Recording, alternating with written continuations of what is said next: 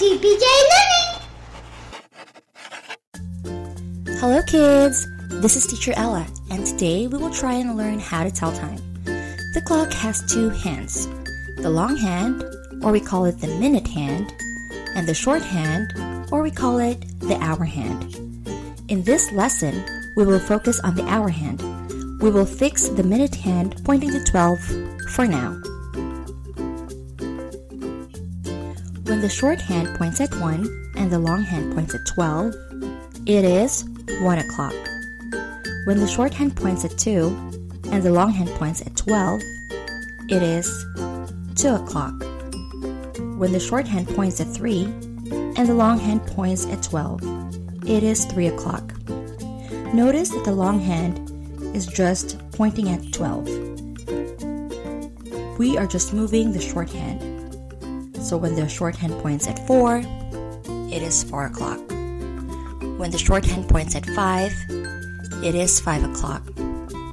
When the short hand points at 6, it is 6 o'clock. When the short hand points at 7, it is 7 o'clock. When the short hand points at 8, it is 8 o'clock. When the short hand points at 9, it is 9 o'clock. When the short hand points at 10, it is 10 o'clock. When the short hand points at 11, it is 11 o'clock. When the short hand points at 12, it is 12 o'clock. Let's practice.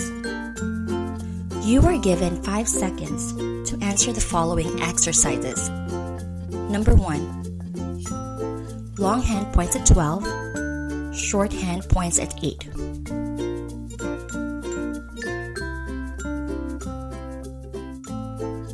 Answer 8 o'clock.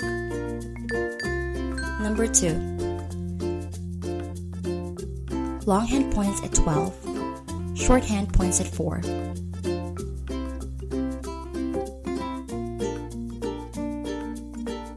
Answer 4 o'clock. Number 3.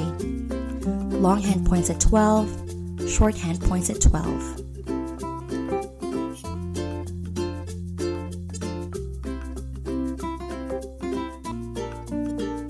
Answer 12 o'clock.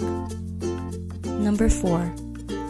Long hand points at 12, short hand points at 2.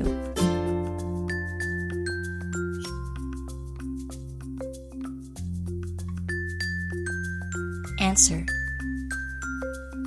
2 o'clock. Number 5.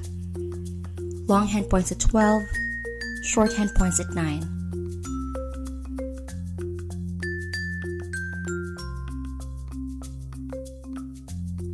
Answer 9 o'clock. You are awesome! Great job, kids! If you like the video, click the like button, share, and subscribe. Until next time, and thanks for watching!